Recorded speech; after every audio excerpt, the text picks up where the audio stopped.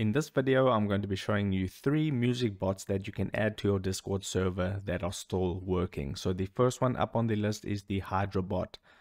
You can see the banner at the top. It says as of 9-13-2021, YouTube as a supported platform was removed. So they get their music from other sources. So that is very good. So you can see more about it if you go to hydra.bot. And basically you just have to add this into your Discord server and you can get multilingual with 10 plus languages, unique song request channels, wide range of platforms. And you can read about it more on the website. You just have to click on the invite button to invite that to your Discord server. This is a great bot and I've used it in my server and it works well.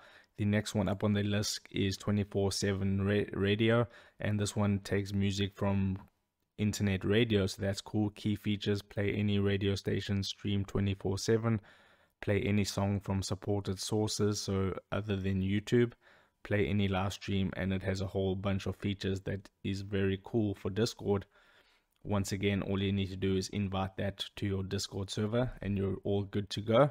The last one up on the list is Jockie Music. This is also a good Discord bot that is still working. You can choose your favorite color or get them all. Invite them to your Discord server right here. Now, all of these are very self-explanatory. There isn't much into them other than adding them into your Discord server and then enjoying the music that they play for you. But yeah, those are three. Obviously, there are way more. Like if you go to Google and you go to Discord music bots still working, you can get a whole bunch of other music bots that are still working that you can have a browse around. I just wanted to bring three of them to your attention. Hydra-bot, 24-7 radio and Jockie music. So that's it for this video. If you got some value out of it, drop a like on it and subscribe for more.